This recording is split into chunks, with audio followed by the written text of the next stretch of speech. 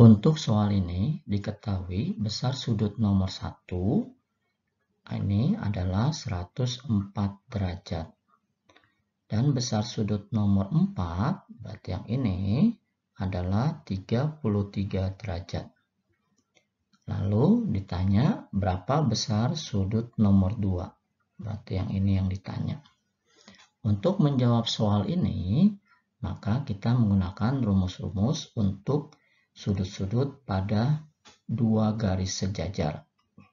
Yaitu di mana pertama di sini sudut 104 derajat bisa kita pindahkan ke sini, ke dekat sudut nomor 6, yaitu 104 derajat juga. Kenapa?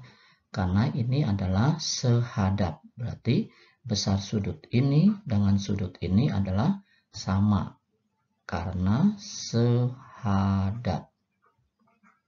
Lalu berarti sudut nomor 6, sudut nomor 6 di sini adalah merupakan garis lurus dengan sudut yang 104. Berarti karena dia garis lurus berarti 180 derajat sama dengan 104 derajat ditambah sudut nomor 6. Berarti di sini sudut nomor 6 berarti sama dengan kita pindahkan 104-nya menjadi 180 dikurang 104. Berarti sudut nomor 6 adalah 76 derajat. Berarti di sini adalah 76 derajat. Lalu berarti di sini kita bisa mencari sudut nomor 5. Berarti kita bisa cari di sini sudut nomor 5. Berarti sudut nomor 5 ini adalah sama dengan sudut nomor 6 yaitu 76 derajat karena mereka saling bertolak belakang.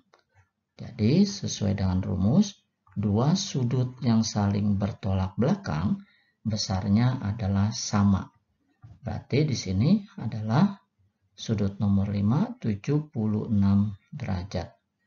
Berarti sudut nomor 2 ini adalah sama juga dengan sudut nomor 4 ditambah sudut nomor 5.